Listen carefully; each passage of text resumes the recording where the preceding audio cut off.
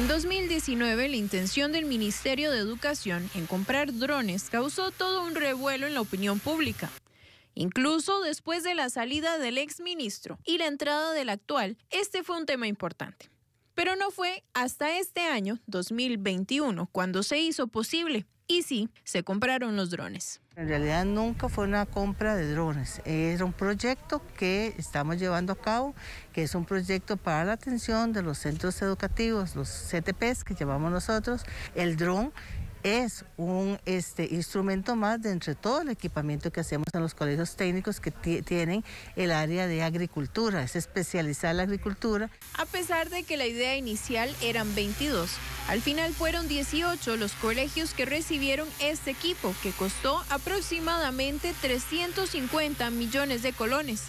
Cada laboratorio de agricultura de precisión consta de cinco equipos una cámara multiespectral que llamamos, que la que permite hacer tomas aéreas, ¿verdad? Eh, con muchas capas de información, sensores de humedad, esos van en tierra, sensores de compactación del suelo, esos también van en tierra, equipos de georreferenciación que se llama satelital y el dron, que es básicamente el dispositivo del que más se habló.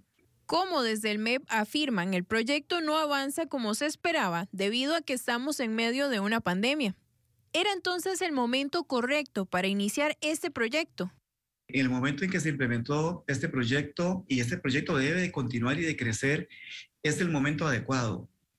Si queremos verlo como un momento inadecuado, más bien podríamos decir que llegamos tarde. Eh, Catherine, eh, el mundo en, en, los años que vienen, ¿verdad? Se debatirá en, en dos grandes escenarios de discusión, la seguridad alimentaria y el cambio climático.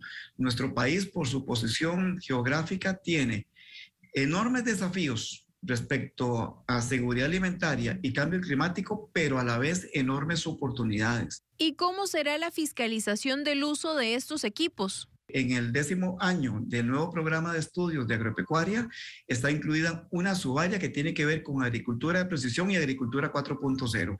Y para eh, desarrollar esa unidad, los docentes y estudiantes tienen que eh, también desarrollar los, los contenidos que establece el programa y a partir de ahí ir eh, generando la competencia. Y parte eh, de, de poder generar la competencia es utilizar los equipamientos que estén disponibles. Según el ministerio, la idea es abarcar a los 55 colegios con fincas agropecuarias, pero que el presupuesto hasta el momento no lo permite. Después de tener este año de preparación, el MEP espera iniciar este proyecto en 2022.